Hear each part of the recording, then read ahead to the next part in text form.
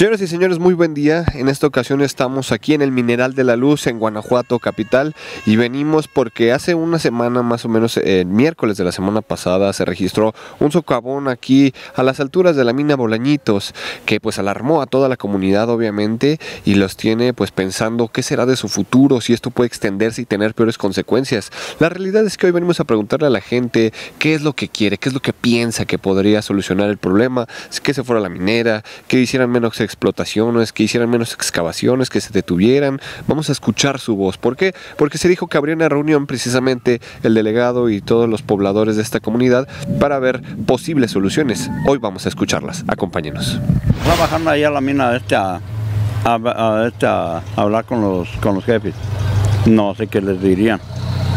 Pero sí, pues sí, está, o sea, está, está grave, está ahorita aquí. Pero como les digo a la gente, lo bueno que cayó por allá, ya que acá y aquí dentro del pueblo, ¿te imaginas? No, pues entonces había estado más, más este, mal. Y ahorita la, la, capilla esa tiene una, una grieta ya, donde hasta este, con esos, las explosiones que están haciendo abajo, no, hasta las casas vibran, los vidrios vibran. No, tampoco nos decimos que no, que ya le paren, porque mucha mucha gente requiere, sí, requiere de eso, de trabajito y requeremos del trabajo de ellos. Porque se imagina, ya si no hay mina, porque aquí la mayoría de personas trabajan en la mina, ¿qué vamos a hacer nosotros con nuestros negocios?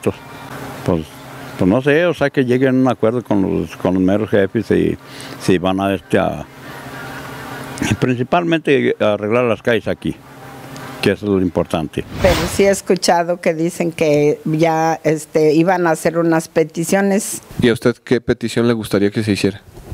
Pues nada más que si siguen trabajando, que donde vayan trabajando vayan rellenando los hoyos que, vaya, que van comiéndose, porque ellos se llevan el oro, se llevan la plata y nosotros nos quedamos aquí nomás amén sin nada.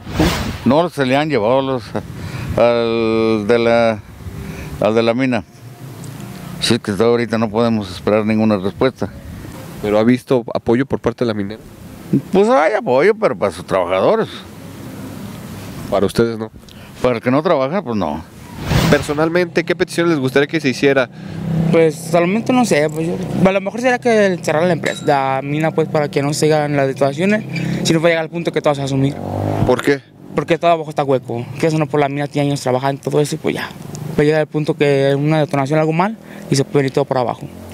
Pero las peticiones que, que tenemos aquí del pueblo, pues que no, pues sí, que, que, que la, la, empresa que está a cargo ahorita de los rebajes antiguos, y si ellos están barrenando o, o sacando, pues, que los rellenen, ¿no? Para que ya no haya más hundidos. Si hubo la junta, este, esperaban que viniera parte de los de la minera a, a la junta, pero creo que nada más estuvo el delegado y las personas que estuvieron ahí en la junta pero según esto ya habían ido en la mañana a platicar a la, a la empresa y que les dijeron que se comprometían a tapar el, el, hoyo que se abrió. Sabemos que vivimos en zona minera y esa parte donde se abrió, más abajo hay otros que también ya se ven abiertos desde hace 20, 30 años. Entonces, pues como ya sabemos que vivimos en zona minera, pues simplemente que cuiden más, este, pues rellenar un poco más para que no haya no se vayan pues los hoyos para abajo. Hay más gente de Guanajuato trabajando que la gente de aquí. Y pues no dejan mucho beneficio. Bueno, pero pues ni modo. Si nos vamos para abajo, pues nos vamos y ya. Lo lógico, ¿qué es lo que queremos? Que se eliminen esas barrenaciones de tiro largo. Son de, de, de 10 a 15 a 20 hasta 25 metros. ¿sí? De para arriba. Y todo eso que tumban lo sacan y así dejan, nunca tapan. Nunca tapan. No se puede ir atrás de lo que la gente ignorantemente diga. Entonces, primeramente nosotros tenemos que ver, preguntar qué fue lo que sucedió.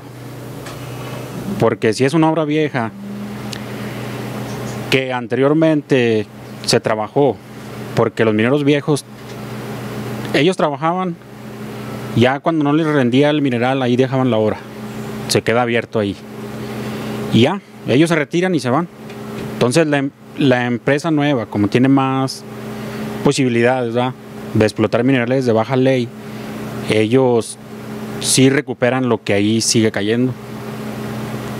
Entonces, lo que puede pasar es que si es un hueco que está ahí y ya, ya se deslavó, porque por abajo se le estuvo sacando lo que quedó, eh, pues fue por eso que se originó el socavón.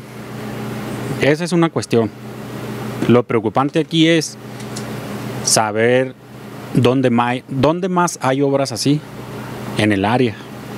No hay más que decir, ustedes mismos ya lo escucharon, ya lo vivieron aquí en TV Libertad. La gente dice, se lleva nuestro oro, se lleva nuestra plata y no nos dejan nada. Al contrario, nos dejan con socavones y con el miedo a hundirnos aquí en el Mineral de la Luz, un pueblo que está cargado de historia en el estado y en todo México y que desgraciadamente la minera actual de Bolañitos no está haciendo nada para ayudar. Estos son los comentarios de la gente, esto es lo que se vive hoy en día aquí en Guanajuato capital. Con imágenes de Rubén González informó Alejandro Rangel.